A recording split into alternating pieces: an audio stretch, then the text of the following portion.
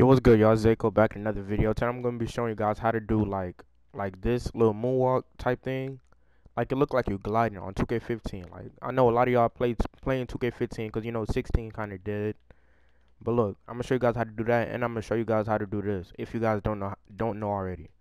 Just hesitations like how to spam it. Some people like they just be moving their sticks. They don't know. They don't really know what they're doing. But I'm gonna show you guys how to do it consistently. So first of all, you want to make sure your controller settings on absolute. You always want this on absolute, like I always say, bro.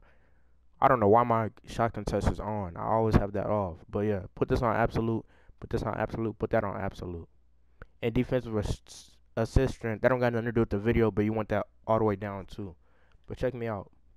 Once you got that, first of all, you're gonna need some attribute bar bars on your playmaker to be doing these moves. Like, you see my playmaker is maxed out right now. But anyways, for for the moonwalk glitch, the first glitch, like I'm gonna let you guys hear my controller. Like you wanna like hold down R2, but you can release it and like hold it back down like every couple seconds. Like listen, if you guys can hear my controller, it's like I'm not fully letting go of the button, but you see what's going on, bro. Like I'm just releasing it just a little bit and I'm pressing it again.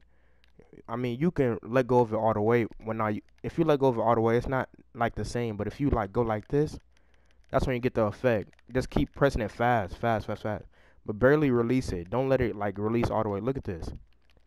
When you do that, people be psyched out. Like let's say let's say you're dribbling. Let's say you're dribbling. And then you come over here like this. The person gonna be confused. That's easy bucket. Even though I did just miss my my, my course on Hall of Fame. But anyways, let's get into the next move. The little hesitation. You guys gotta know how to do this by now. Look. For the hesitation, I have crossover two by the way. For the hesitation, you want to like dribble like one way like this. Like when you dribble that way, you you don't press R2 at all yet.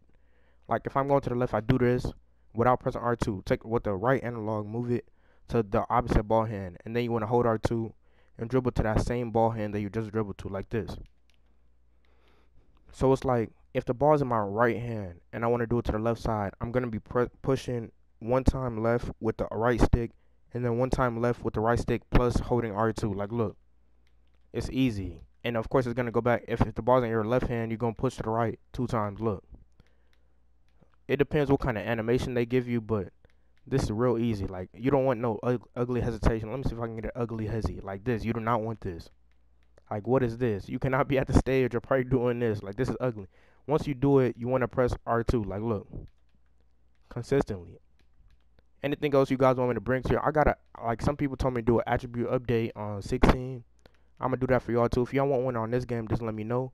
It's ZayCold back with another video. I'm out. Make sure you like, comment, subscribe if this video help you, and stay cold.